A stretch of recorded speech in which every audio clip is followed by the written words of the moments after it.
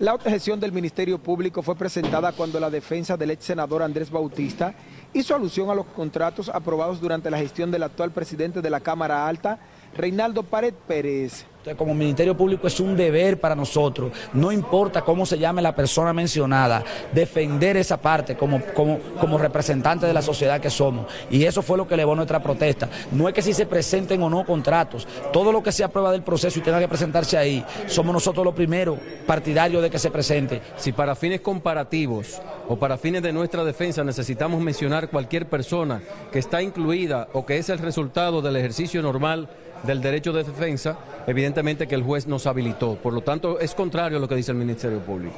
Durante su argumentación en audiencia, la defensa de Andrés Bautista calificó como un tollo y un mamotreto la acusación presentada por el Ministerio Público porque supuestamente no ha aportado pruebas en su contra. La torcida investigación y su buscado y subjetivo resultado, es decir, la deliberadamente conducida acusación en contra de Andrés Bautista, hecha por el Ministerio Público, no es más que un gran tollo deliberado que ha intentado manchar el buen nombre, la reputación, el honor, la honra y la imagen cristalina hasta ahora. Al objetar las expresiones de la defensa de Andrés Bautista, el Ministerio Público le recordó al abogado Carlos Salcedo que ha ganado mucho dinero representando al Estado a través del Banco Central.